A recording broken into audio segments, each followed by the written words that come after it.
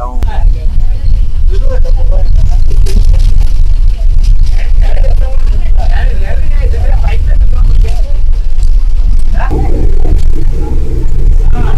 நீ தலையை போடுங்க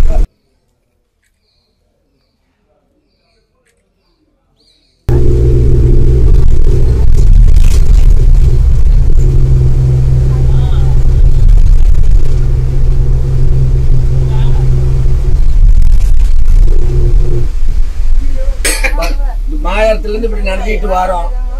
பசுக்கு ஒரு கொடை வாங்கி கொடுத்தா நல்லா இருக்கும் இவ்வளோ சீர்கேடு இருக்கு. பஸ்ல இப்படி ஒழுகிட்டே வருது. வர்றோம். பஸ்ஸோட நிலைமைய பாருங்க எப்படி இருக்கு? போய் இந்த இந்த காலத்துலயும் இந்த மாதிரி இருந்தா எப்படி சார்? நாங்க என்ன சார்